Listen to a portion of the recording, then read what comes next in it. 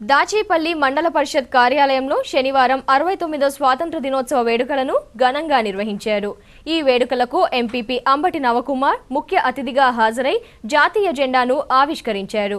ఈ కార్యక్రమంలో incharge MPDO lily పుష్పం సాక్షర భారత్ మండల కోఆర్డినేటర్ బొమ్మిరెడ్డి నాగరాజు పంచాయతీ కార్యదర్శి ఎస్కే అబ్దుల్లా నడికుడి నాలుగు ఎంపీటీసీ తోట రజనీ శ్రీనివాసరావు అన్నపూర్ణ తదితరులు పాల్గొన్నారు.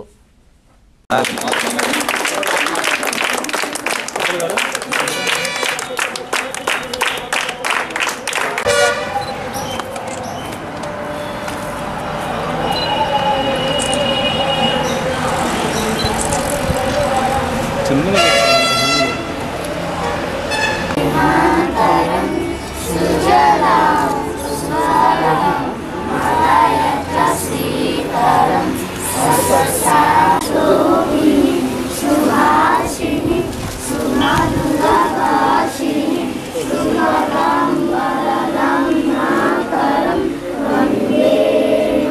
ప్రజలందరికీ కూడా అరవై తొమ్మిదవ స్వతంత్ర దినోత్సవ వేడుకల శుభాకాంక్షలు ముందస్తుగా తెలియజేసుకుంటున్నాను.